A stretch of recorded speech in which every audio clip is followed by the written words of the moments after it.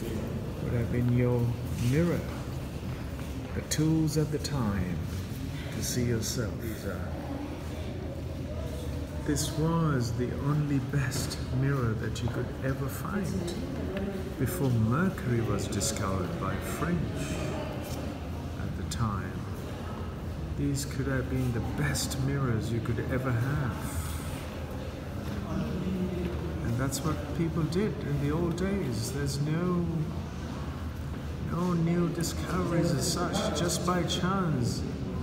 You're working with some kind of copper steel plate and suddenly you it reflected on you and you could see yourself in it. So you could see myself in that. It's just a glass, in fact. But you could see yourself in there. That copper polished surface. And then they use these. Then they start realizing, oh, you can see it.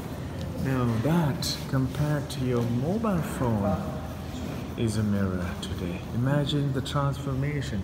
Imagine the, the progress we've made from this, even from this, to a, something like a screen on your iPhone, or even better, a reflection of this glass.